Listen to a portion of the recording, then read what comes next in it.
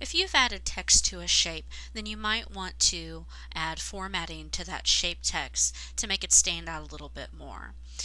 Uh, to do that, go ahead and select your shape just by clicking on it and then click the Home tab if necessary to get you to the formatting options for text. And you really are going to format this text just like how you would any other text in your document.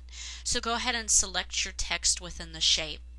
And then a couple changes you can make to this. You can change the font and as you hover your mouse over a font it's going to display it over on top of the shape. So choose one that you like. You can also change the size if you'd like and once again you're going to get a preview of what it's going to look like. You can also change it to be bold, um, italic, underlined if you'd like. You can change the color and choose a color that makes it stand out a little bit more. And when you're um, done editing this, just simply unclick it and it's going to go ahead and save those changes that you made to the text in your shape.